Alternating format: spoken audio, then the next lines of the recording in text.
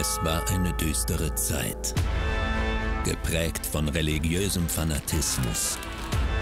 Höchste Zeit für eine Reformation der Kirche und der Gesellschaft. Wir brauchen niemanden, der sich zwischen Gott und uns Menschen stellt. Es war seine Zeit. Zwingli im Kino.